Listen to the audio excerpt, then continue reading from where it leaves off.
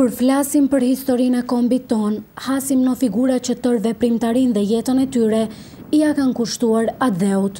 Qëllimi kryesor i shumë figurave të shquara ishte çlirimi i atdheut, e në këtë drejtim kontribonin shumë patriotë, disa me penë e disa me pushkë.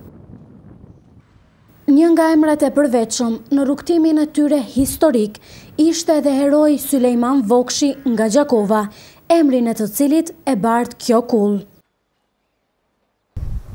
Edhe pse Gjakova njihet si qyteti më i shkatërruar në luftën e viteve një mijë e nëntëqind e nëntëdhjetë e tetë, një mijë e nëntëqind e nëntëdhjetë e nëntë, ky qytet ka arritur që ta ruajë pasurinë e vet kulturore. Ndodhemi pranë kullës së Sulejman Vokshit, i cili njihet si një ndër personalitetet më të shquara të Lidhjes Shqiptare të Prizrenit si dhe hero i popullit në Kosovë. Këtë radhë ishte historiani Alban Dobruna ai i cili e vuri në pah edhe një herë historinë e rëndësishme të Sulejman Vokshit. Në këtë shtëpi, në këtë kullë, Sulejman Vokshi ka ardh për të jetuar, sepse ka qenë e motrës së tij, Fatimes, e cila është martuar me Durmish Beun, me origjinë nga Krusha e Madhe. Në këtë shtëpi nuk dihet saktë se kur ka ardh Sulejman Vokshi për të jetuar, por meqenëse motrës i kishte vdekur bashkëshorti dhe i biri, atëherë e ftoi të vëllaun që të jetojë në këtë shtëpi, i cili derisa vdiq. Sulejman Vokshi ka qenë një ndër aktivistët më të mëdhaj të Lidhjes Shqiptare të Prizrenit, i cili deri në vitin 1800 edhe pse u shua Lidhja e Prizrenit në vitin 1881 me betejën e Slivovës në Ferizaj dhe Shtimje, ai U kthye në Gjakovë dhe e mbajti gjallë frymën e lidhjes deri në vitin një mijë e tetëqind e tetëdhjetë e pesë, ku edhe u burgos. Dikur kullat kanë qenë shënjestër ose cak i sulmeve nga forcat pushtuese. Ka kaluar kohë nga ndërtimi i kësaj kulle dhe nuk është ndërmarrë ndonjë veprim.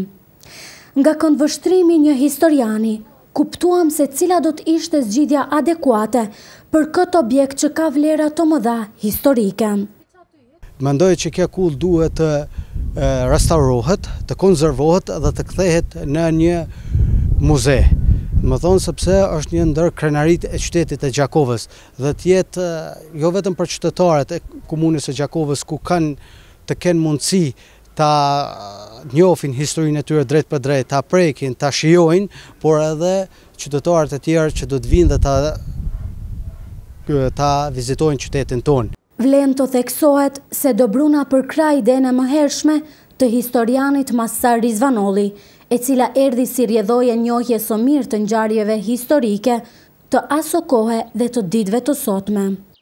Kjo ka qenë ide qysh në vitin një mijë e nëntëqind e shtatëdhjetë e tetë, kur profesori jonë i nderuar dhe i respektuar profesor doktor Masar Rizvanolli propozoi që në vigjilje të njëqind vjetorit të Pavarësisë në vitin një mijë e nëntëqind e shtatëdhjetë e tetë që kjo kullë edhe kulla e Sulejman Vokshit e Bije Vokshit atje në Çabrat të kthehen në muze që t'i dedikohet Lidhjes Shqiptare të Prizrenit. Shumë zhurmë u bë kohët e fundit për këtë objekt.